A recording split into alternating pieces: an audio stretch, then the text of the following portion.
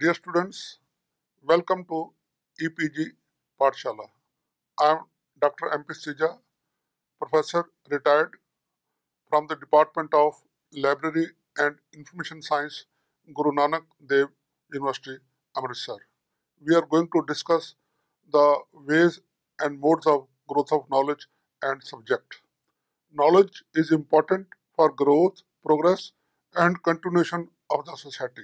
The progress mankind has made from cave dweller to space commuter is only due to the knowledge gathered, used, and passed on to the new generation. It is the best possession a society has. It is the knowledge which keeps the society in continuity. Knowledge itself is living, growing, and is dynamic. Its growth is multidimensional. While it grows, some part of it become dead or obsolete, that is, they become useless or irrelevant. The knowledge must be kept young, living, and relevant. Here we study the ways knowledge grows naturally and socially for economic reasons, and what are its modes of growth, what are the implications of its growth on libraries and its classification systems. Knowledge definition. Knowledge may have many definitions, both philosophical, operational, but from the librarian viewpoint, knowledge is defined as some total of ideas conserved by the society.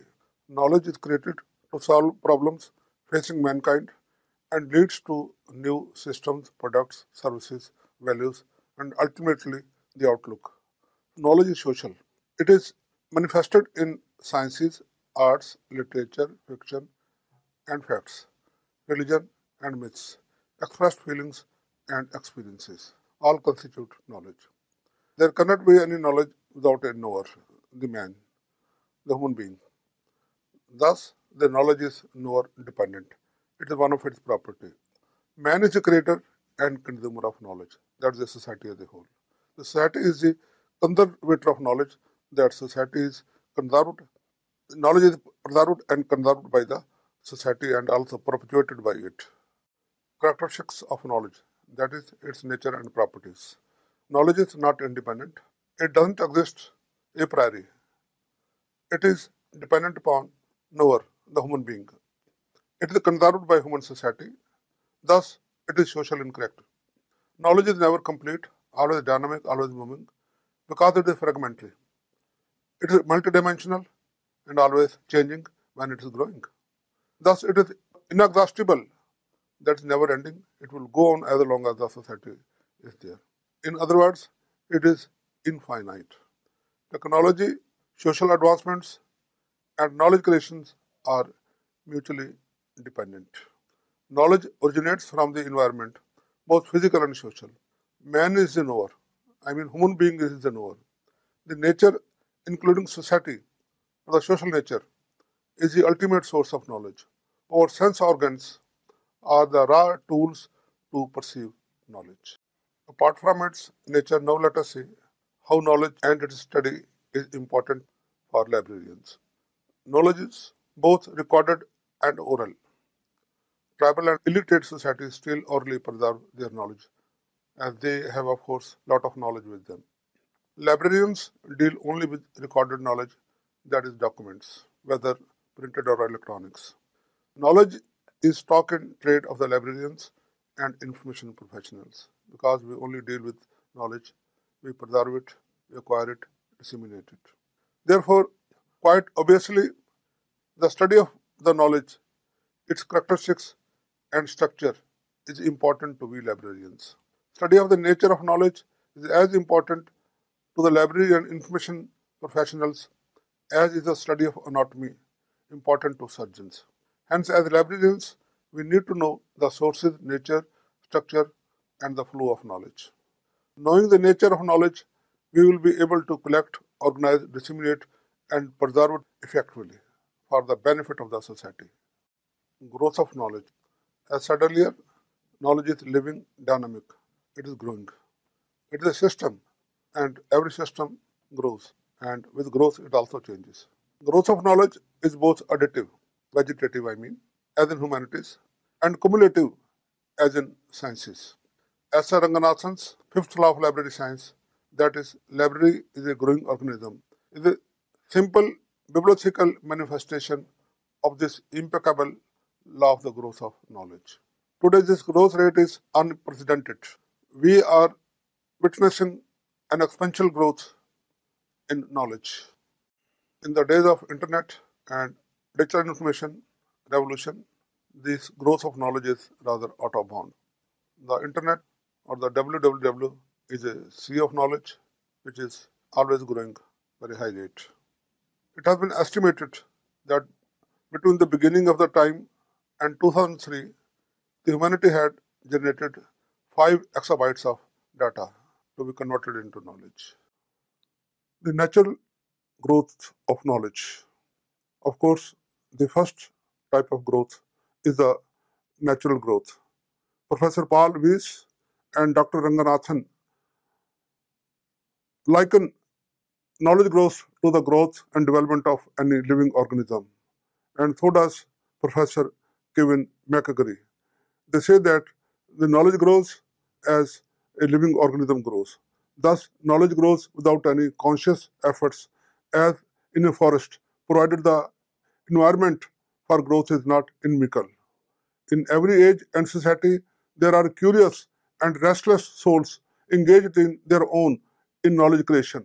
So that way of knowledge is natural growth because nobody is asking them to work on knowledge and contribute to its growth. They they grow, they work because they have some inner inner urge and they are always persons in every society from all the times. This continuous growth makes knowledge a systematic and a system of dynamic continuum. Another factor for the growth of knowledge is the innate curiosity, urge to be held in high esteem, and spirit of adventure and exploration in human beings. They, they indulge in knowledge growth because they think the society will respect them for right reasons. That's right. And of course, uh, next to food, shelter, and security, the what man wants is to know the unknown. That the man wants to discover, one wants to know more and more things. So this is one factor for the growth of knowledge. Plant growth. Apart from natural growth of knowledge, the civilized and advanced societies make plans for the growth of knowledge. No society, no nation can achieve success in economic, cultural, technological, and educational welfare activities if the production and consumption of knowledge is not up to a certain optimum level. Since the Industrial Revolution, knowledge-based innovations are prized by every society for leading ultimately to economic growth, which further fuels new social and political ideas for welfare, dignity of life, and individual justice to mankind. Every new piece of knowledge translates into wealth creation to enrich life on this planet and brings all social benefits. This requires further research to make life secure and ensure growth on this planet. It is essentially the true capital of economy. Knowledge production as a major economic sector is now a reality. Alvin Toffler, the well-known futurologist, is apt to say that information has become perhaps the world's fastest growing and most important business. Therefore, there are planned and organized national and international efforts for its growth. India's National Knowledge Commission, set up by the government in 2005, is a shining example of national plans for development and harnessing knowledge for overall social development. Induced growth or stimulated growth. Induced growth of knowledge lies halfway between natural and plant methods. Knowledge is not a commodity in the sense it is decimated by consumption. We can eat our knowledge cake and multiply it too at the same time. In fact, more we consume and share knowledge, more it grows and multiplies. Gaining or communicating knowledge further facilitates growth of knowledge. Knowledge spreads from knowledge. Widespread education, social awareness, more leisure time, wonderful advances in information and educational technology, superfast means of communication, generous financial support from governments, organized and relay research, increase in number and variety of information media, growth in library and information services are some of the congenial factors which induce the growth of knowledge. Other factors are immense pressure on the academicians and researchers to publish or perish, personal rivalries, and corporate wars for priority claims are some other such factors. Post World War II, Cold War, especially since the launch of Sputnik, has generated a lot of research based knowledge. Modes of knowledge growth. Research is one process to increase the fund of knowledge. Intuition, imagination, and apperceptions are transcendental ways to conceive knowledge, whereas experimental, empirical, and speculative methods are available to all. Studies on the nature of knowledge have given rise to a body of knowledge called social epistemology, as called by Jesse Shera. We do not take enough notice of what contemporary philosophers and scientists have to say about the nature of knowledge, wrote aptly D.J. Foskett. Knowledge is labyrinth stock in trade, and study of its nature is of as much importance to us as the study of anatomy to a surgeon. Its implications in information management are all pervasive and too numerous. In library and information science discipline, S.R. Ranganathan is a pioneer in the study on the modes of knowledge growth and growth of subjects. To make it popular, in the year 1948, Ranganathan got introduced a paper entitled Development and Structure of the Universe of Subjects in the postgraduate library science curriculum of the University of Delhi, where he was a honorary professor. The work has been continued by his schoolmen at the Documentation Research and Training Center, DRTC, at Bengaluru. Modes of knowledge growth. All the specific modes Ranganathan discovered and a few more for the growth of knowledge can summarily be discussed under three general modes. These are growth by specialization, interdisciplinary growth, and multidisciplinary growth. In fact, Ranganathan studied growth of knowledge, not core knowledge, but in form of subjects and especially the main classes. His mode was empirical. Ranganathan categorized all the subjects in the universal knowledge into three categories, namely basic, compound, and complex. And all these things grow differently in different ways. Main classes are basic subjects postulated in a classic, classification system by the classificationist. Compound subjects, virtually infinite numbers, are basic subjects with a focus uh, such as agriculture of wheat or rural sociology or physics of relativity uh, or sound. Uh, these are compound subjects and they are always growing in different ways. Complex subjects are two-faced or multi-faced subjects such, such, as psychology for doctors or uh, mathematics for engineers. Three modes of knowledge growth. Ranganathan divides main classes, which he terms them as basic subjects, into following categories primary basic subjects and non primary basic subjects. So, among the primary basic subjects are newly emerging subjects, traditional subjects, fused subjects, distilled subjects, agglomerates, and subject bundles. On the other hand, non-primary basic subjects are canonical classes, that is subdivisions of a main class, systems, naturopathy for example in, in medicine, specials, sports medicine, and environment, war, economy or high altitude engineering. Specialization trends, which is the first trend for the growth of knowledge.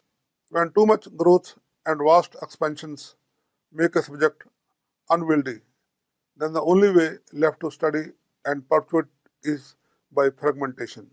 Divide into small pieces to make it some bit comprehensible. In many disciplines of knowledge, there is an increasing tendency to specialize, to know more and more about less and less. That is specialization.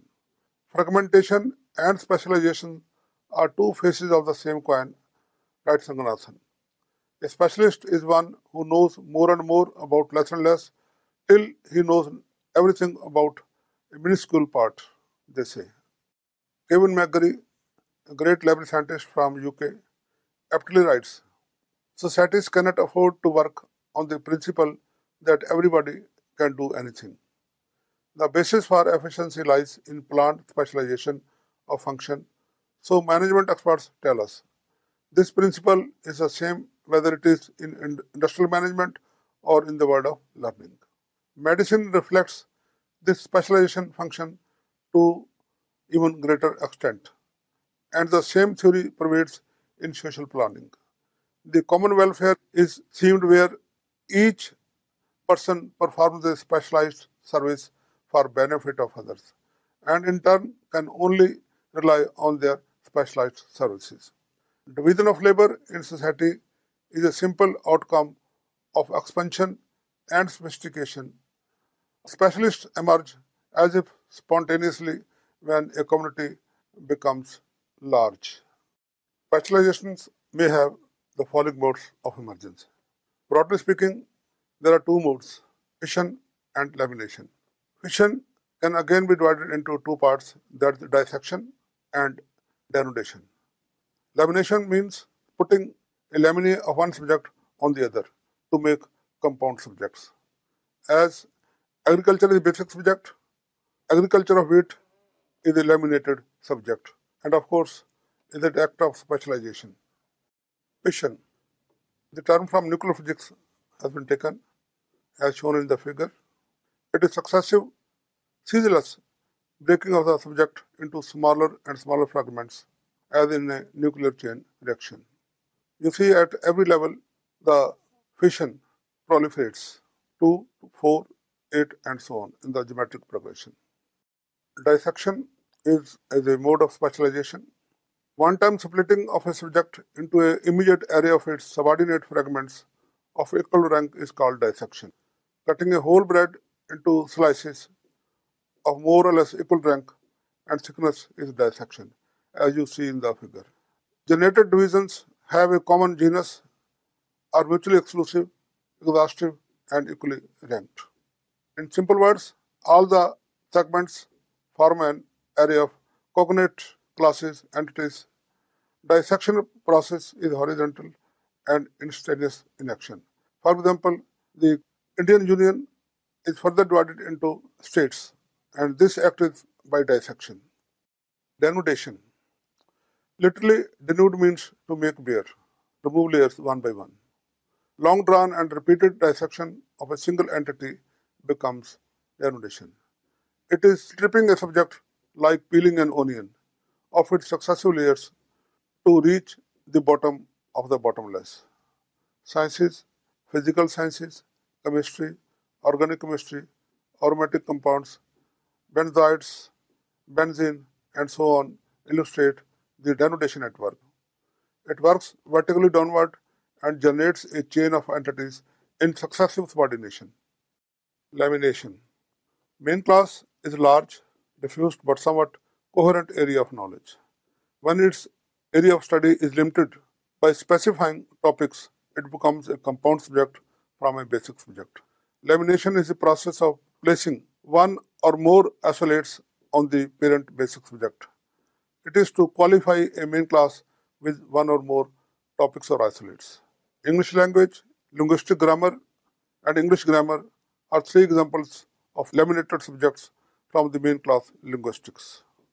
The laminated subjects are termed as compound subjects in Ranganathan's terminology. Number of laminae placed on a subject could be as large as feasible. Number of such laminae is a direct measure of the specialization of the topic, and such topics are too numerous in the universe of knowledge. As said earlier, the growth of knowledge was by specialization, coming from broader to specific knowledge. But over the process, the trend of specialization got so perverse that the scholars became isolated and distant from one another. It was difficult to communicate because, because the subjects were so jargon ridden and their terminology was so uh, specific that only within the narrow field one could communicate not to others. So it was a trend which was rather uh, not very useful for the growth of knowledge. So this trend has happily been counterbalanced or supplemented by what we call interdisciplinary studies for the growth of knowledge. And this trend was set after especially the uh, World War II. Uh, what has led to this trend is team and relay research, close cooperation among scholars, availability of subject consultants as in a university. Uh, all these have led the scholars to join hands for interdisciplinary studies. Crossbreeding of subjects has yielded such subjects as chemical physics, biophysics, social Darwinism, or uh, um, let us say medical geography, and so on. Loose assemblage is combination of two or more subjects or their parts in a sort of temporary, casual, or incidental ways involving any relation, namely influencing, comparison, biasing, difference tool, or any unspecified one. These subjects are from different disciplines. For example, statistics for librarians, psychology for nurses, or influence of computers on library operations are some such subjects formed by loose assemblage. And of course, they are interdisciplinary. In such cases, a subject is studied in light of the other, and here their encounter or assemblage is temporary, ad hoc, or loose, and reversible. Inevitably, these subjects are of interdisciplinary interest. Here you see the diagram of a loosely assembled subject, and this is also known as two-phase subject, and each constituent of a complex subject is termed as a phase by Ranganathan. Fusion. It is an advanced stage of loose assemblage. When loosely assembled subjects solidify into a permanent relation and the different constituents are irreversibly joined to form an entirely new subject with its own special isolates and literary variant, it is called a fused subject or a subject born by fusion. Fused subjects transcend complex classes to become basic subjects. Chemical physics, biophysics, biochemistry, geopolitics are a few random examples of homogeneous and irreversibly combined complex classes called fused main subjects. Multidisciplinary growth. Ranganathan isolated three more modes of formation of subjects. These are multidisciplinary in nature, that is, more than interdisciplinary, in accordance with the latest trends in research. Area or mission oriented or marginalized social groups such as women, Dalit studies, family studies, early childhood studies being the latest fashion in research. Here you involve experts not from two but many many different subjects to come together, collaborate and produce a piece of research which may be easily termed as multidisciplinary subject. Teamwork and interaction of pure and applied research have also given birth to such subjects which are applied in nature. Distillation. It's also a mode of multidisciplinary growth of subjects.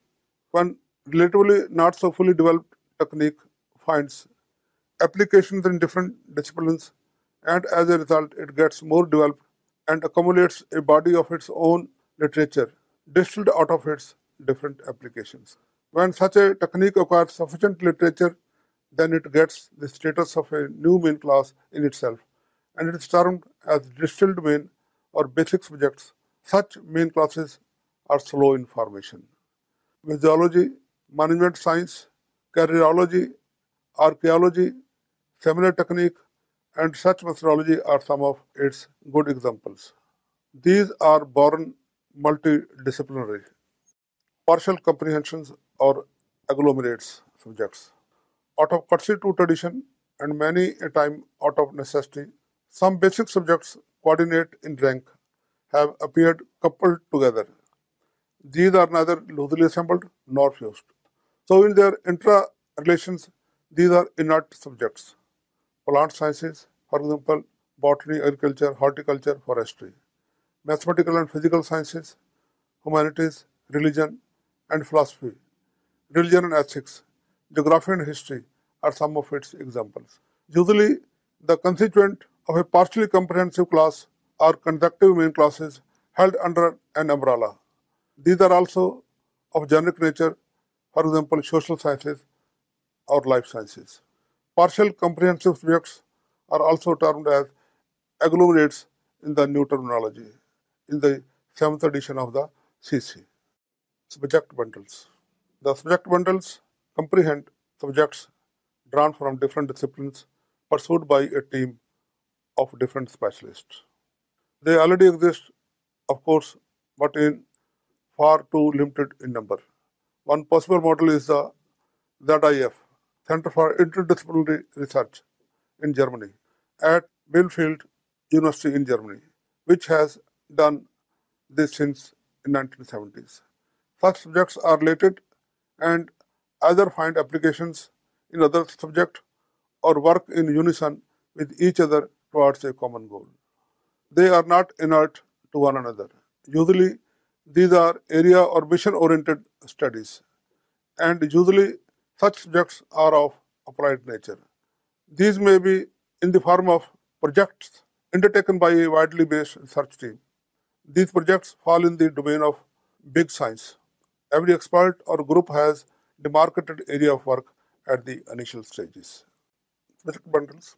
Some of the subject bundles enumerated in the seventh edition of the CCR surface science, social science, material science, earth science, hydro science, ocean science, deep sea science, atmosphere science, defense science, as given by Ranganathan in 87.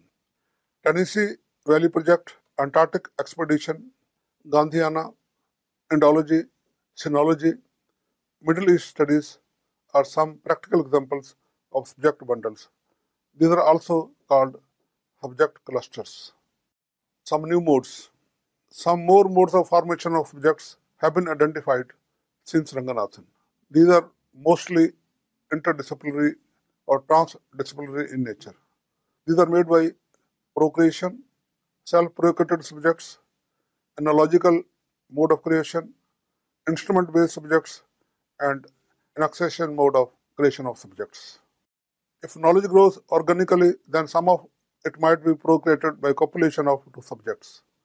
One such subject is linguistics, which is a knowledge field of recent and rapid growth, says McGarry. Claiming descent from union of philosophy and philology, linguistics has become a widely taught subject since the early 1960s. Its claimed territory is the scientific study of human language. The results are specialist studies such as psycholinguistics, sociolinguistics, and neurolinguistics. Furthering the analogy of knowledge by organism, some organisms like bisexuals are self-procreated.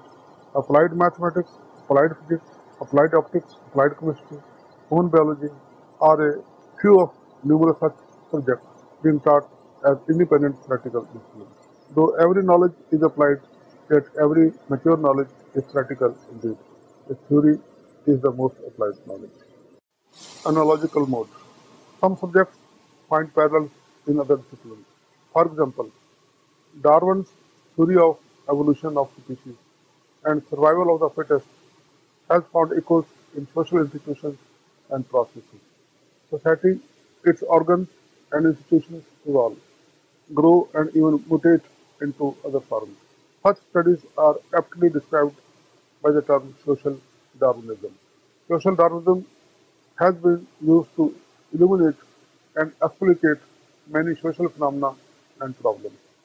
Social physics, social entropy, political dynamics, and social biology are some of the examples of such analogical modes of subjects. Instrument based subjects. Some subjects are based on a machine and have grown into full disciplines by gathering subjects around a machine or device. An example is microscopy or microbiology, which has risen from the microscope. But the most outstanding example is of all pervasive discipline of computer science and engineering and of late mobile based applications. It has encompassed and influenced every strata of society. Such subjects are growing and even fragmenting. For example, internet studies or social media are emerging as independent subjects. Annexation modes. Geography is a very good example of all such subjects, areas that grow by accretion or colonization. It has annexed many loosely dependent positions in the social and human sciences, writes Kevin McGarry. This imperialist tendency of geography is visible in its branches such as commercial geography, medical geography, political geography, and many more. Take another example of physical education, including sports and aerobics, which draws its sustenance from physical, bio, and social sciences. Broadly speaking, all the modes of growth of knowledge and subjects can be divided into three major trends specialization, interdisciplinary, and multidisciplinary modes. Within the specialization, there are two major trends that is fusion and. A fusion, fission is again of two types, dissection and denudation. Interdisciplinary subjects are made by loose assemblage and by fusion of uh, two subjects or more than two subjects. Then multidisciplinary growth has again three modes distillation, agglomerations, and subject bundles. But it may be noted that these are not the only trends. As the society moves, new subjects come into being, new modes of communication of subjects come into being, such as the internet. There may be developed or there may be discovered many more subjects, uh, ways in which the subjects uh, grow and multiply. Summarizing, we can say that study of the modes of growth of knowledge is very important for the librarians. It is as important as the study of anatomy to a surgeon. A saying says that a good shepherd knows his sheep's and its breed. Uh, since knowledge is librarian's stock in trade, so we must study the nature, flow, and growth of knowledge. And such studies have proved very important to the LIC community in various ways. And of course, it is also useful for its own sake as a uh, as it provides theoretical background for our subject. Uh, it provides a very good theory for the work librarians do. Now we can say similarly the different ways of growth of knowledge as given in this diagram.